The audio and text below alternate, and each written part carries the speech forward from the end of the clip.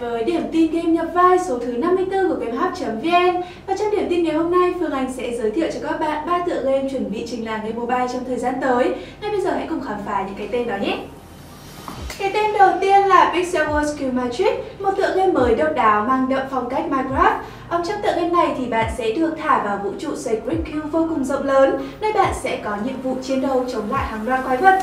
Một khi hoàn thành xong tất cả những thử thách thì à, người chơi có thể trở về nhà để tiếp tục xây dựng nhà cửa này hay là phát triển khối lượng tài sản của riêng mình. Pixel Wars còn sở hữu hiệu ứng hình ảnh 3D ấn tượng với những cơ chế quen thuộc của thể loại MMORPG. Khi lên tới hàng loạt mục tối rùng rợn, chế độ PvP đa dạng và cả hệ thống boss cực kỳ khủng nữa. Hiện tại thì tựa game này vẫn đang trong quá trình chuẩn bị ra mắt. Mọi thông tin tiếp theo về Pixel Wars King Magic, GameHub.vn sẽ cập nhật cho bạn trong những điểm tin tới nhé. Tiếp theo là Mobius Final Fantasy, tựa game mobile mới của dòng game Final Fantasy rất đình đám. Giống như những phiên bản Record Keeper hay là Brave Exvius, thì Mobius Final Fantasy sẽ sở hữu cơ chế free to play với tùy chọn quy đổi thế thật.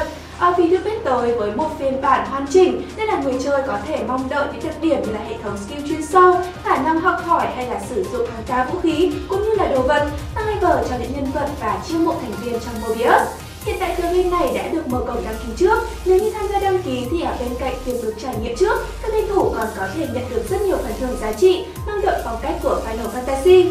Mobius Final Fantasy dự kiến sẽ ra mắt vào ngày 3 tháng 8 tới đây. Và cái tên thứ ba chính là phiên bản mobile của tựa game Blade and Show Home Moon Rising đã từng nổi danh trên PC trước đây.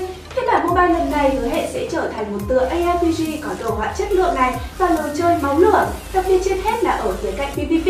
À, bên cạnh đó thì thông qua trường đoạn trailer, các game thủ có thể cảm nhận thấy nét quyến rũ về hình ảnh và hiệu ứng âm thanh đỉnh cao của Blade and Show. Ở những trận đánh với tốc độ nhanh, song hành với đó là những màn đấu boss căng thẳng, nơi game thủ có thể thỏa sức thể hiện bản thân trong từng đòn đánh. Hiện tại thì Blade and Show đang trong quá trình cập nhật.